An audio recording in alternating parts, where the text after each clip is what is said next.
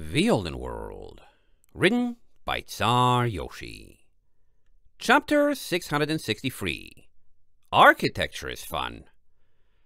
No one was quite sure who should take point after Valet left. Gerardo, as a point of chivalry, seemed to want Starlight and Maple to stay in the middle, and it brought him no end of consternation that he couldn't lead and bring up the rear solely by himself. But Starlight wasn't enjoying the cave's atmosphere, was on edge every minute Valet was gone, and had no problems being up front if it helped them get through quicker. Starlight, Maple warned, sticking close behind as she approached the door. If you feel something grabbing you like that again... I probably won't, Starlight assured, leaving the ravine room into a passage parallel to the one for which they had come. I hope I won't, she added, frowning. This room was a short, narrow hall identical to the one beside it.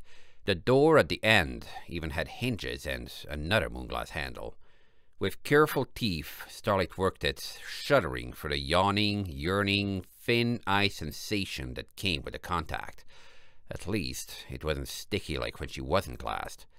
The door opened easily, and she was back in the chapel where they had left Valet. Starlight blinked, adjusting to the room around her. Valet's room had been an empty box with a black tile floor and painted brick walls designed to look vaguely like mirrors, though the room they reflected had an altar and pews. The room this room's walls reflected was empty, and there was an altar shortly before her hooves. Her face crunched in unease. Two rows of pews faced her. She was at the head of the chapel looking down, administering whatever was to be done at the altar.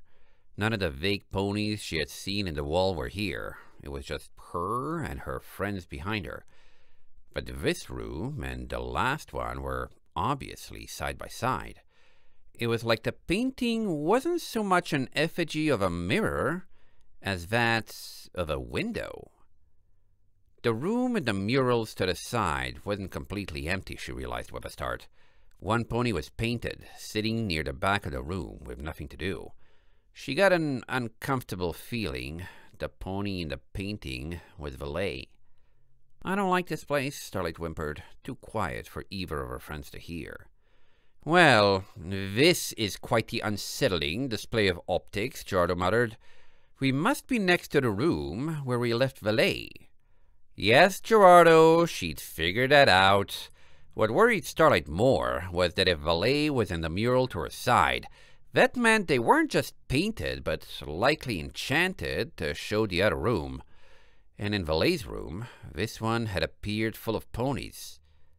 Now, it was empty. She had a sudden urge to draw her shadow cloak, and avoided it only for the sake of her friends. Can we not stay here? Maple quietly asked, pointing to the other end of the room. There's the door. Starlight was past the pews in a flash, trying her best not to think about invisible mural ponies. She touched the door, expecting it to open, but there wasn't even a seam in the wall. It was painted on. She helplessly shrugged at Maple. Well, that's a dead end then, I presume, Gerardo remarked sadly, his head quest drooping. At least we've ruled one avenue out. To the bridge in the ravine? Maple wasn't terribly happy about the prospect of the ravine's narrow walkway, and it showed in her face. Starlight returned to the altar and gave her a comforting nuzzle, not wanting to see her brightness sad. It's just a bridge, she advised. You'll be fine. The walk back to the ravine didn't hold any surprises. The parts of the cave they had explored so far seemed benign, eerie imagery aside. When Starlight actually reached the bridge, though, she gave it a long and skeptical look. It was wider than it had looked from afar, built of smooth bricks, and nearly wide enough for a cart to pass by unhindered. While the ravine winds were heavy, she doubted even she was in danger of being blown off. We'll all cross as a group, Maple decided. I don't have ballast, so Gerardo probably weighs the most. He should go up front. I'll hang on to him and Starlight can hang on to me.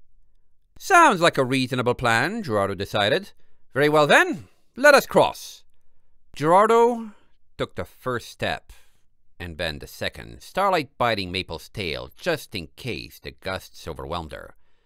Then Maple stepped onto the bridge, the telltale hissing of moonglass against harmonic flame rising from beneath her hooves. They walked further out, Starlight frowning at the bricks below. What was hissing? These were ordinary stones. Her eyes widened just before the bridge began to buckle. Moonglass was the bridge's grout. Back! Back, I say! Gerardo spun in a flash, plowing into Maple and Starlight as the bridge actually sagged beneath them. Several bricks broke free and plunged into the abyss, and his paws and talons scrabbled for purchase on the changing, growing slope. But he found it, and the three were bowled firmly back onto solid ground. What was that? Maple asked, shaking, sitting upright with her eyes wandering over to the damage. Starlight looked too. The bridge sagged and contorted like it was made of rope and wood slats instead of bricks and mortar. Some of the pieces on the edges had caved in, and she realized why it had looked so narrow from a distance. It might have been wide enough for a cart, but it was only one brick thin.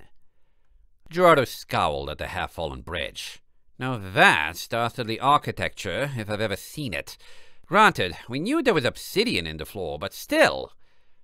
Do you think it can even hold us? Maple murmured, staring at the bridge in nervous awe. Well, I'm willing to test for myself, Gerardo volunteered, squaring his shoulders. However, it absolutely won't take any more of your hoofsteps, and I'm trying to find a way we could get you across while preserving the route for our return. Yeah, Maple swallowed.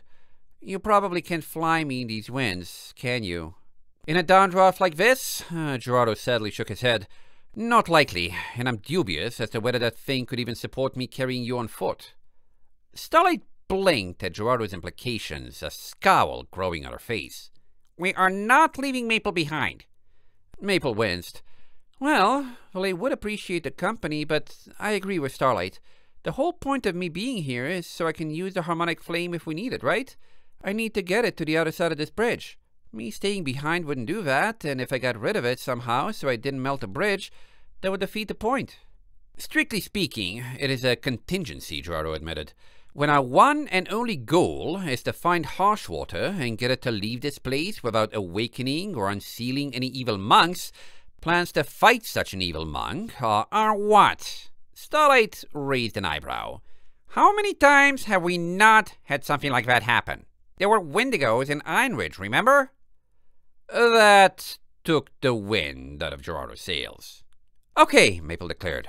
Decision. We're going back to Valet and getting your input. I don't like the idea of staying behind, and I want as many better ideas as possible. No one objected to that, even though there was an unspoken assumption they were in a hurry.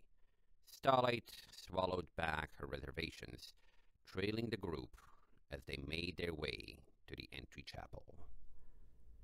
End of chapter 663.